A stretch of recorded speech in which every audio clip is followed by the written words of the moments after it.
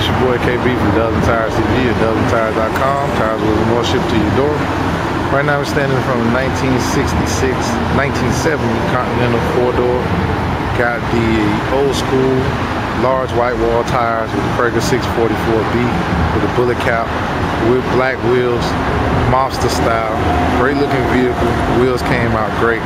style reflects the car. Um, great looking wheel, very cheap. The tires are the ones that's gonna get you. we can get you these for a great price. You can find these online at DUBSandTIRES.com or call us at 877-544-8473. One more time, you look at the two inch three quarter white walls.